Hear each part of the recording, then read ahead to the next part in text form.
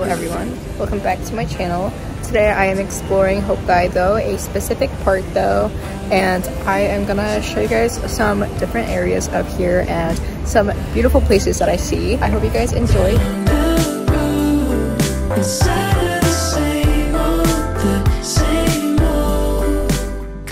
Welcome back. Today is going to be more of a voiceover heavy video, so please bear with me. First of all, I wanted to show you some shops and listen to this beautiful sound.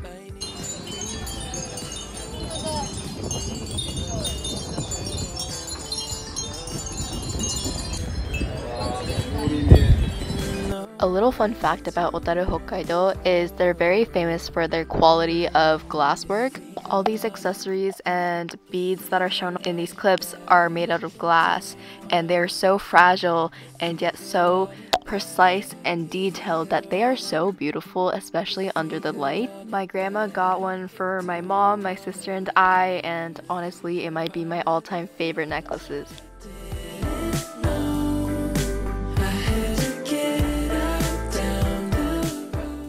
Out of all the places I went to in Hokkaido, Otaru was one of my favorites because they had a lot of street food and little shops that you can go in. The other places that I went are more in the middle of nowhere, climbing mountains, or very much in the city where there wasn't much to do. But first, we had these strawberry mochis, and they were so good. Oh my god, there was matcha in it, and it was so delicious. I think it was my one of my favorites.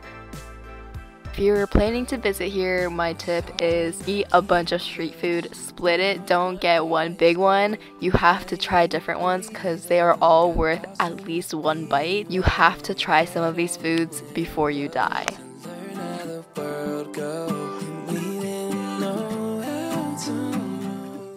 Next things next, we came to Lado, I believe it's pronounced. We got a set of three cakes we got the Italian mascarpone, creme brulee, and the cheesecake. And it was pretty good, but I feel like it's not worth the price. For how famous and popular it is, I had pretty high expectations, but it wasn't the best of the best, I feel like.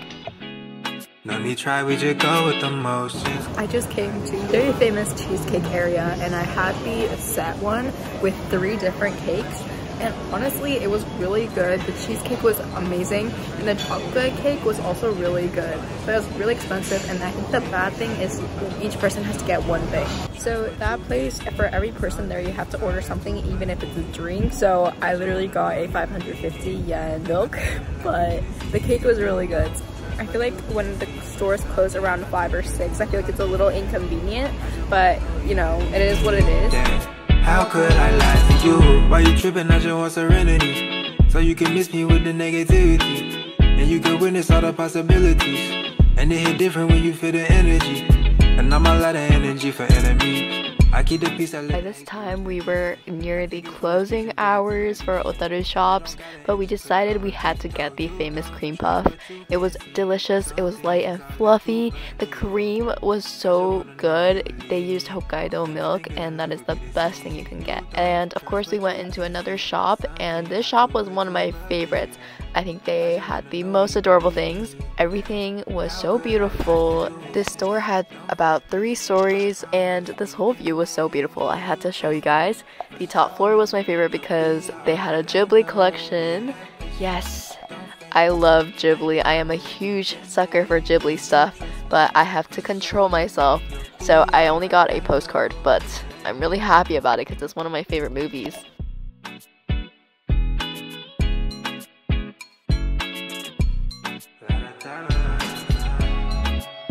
You already know I got something from Ghibli. I got a postcard. I put something inside, but I got a postcard from Whisper of the Heart and it's amazing.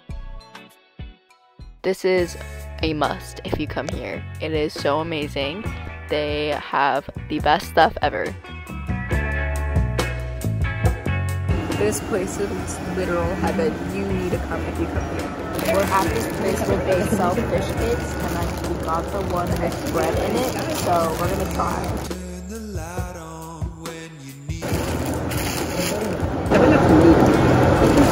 It's so good. It's so juicy. It's so good. Yeah, but this one is more of a meat one, and we're all sharing it in thirds. So let's try. うまくない全然違うよね。総合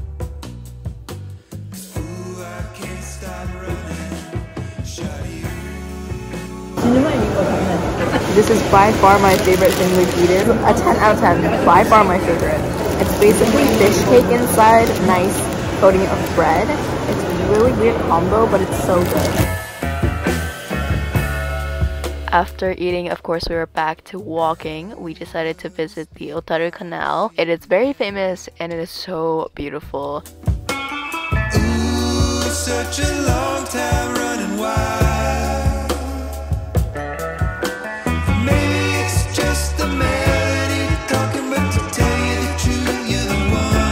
We just went to the Otaru Unga River and it's so gorgeous. I recommend going further down where there's less people. It was beautiful.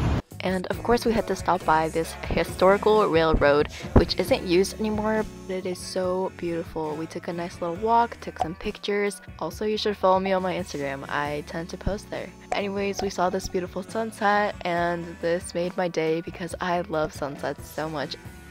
Before heading to dinner, we walked around and found this market where we bought a melon, which I will be eating later.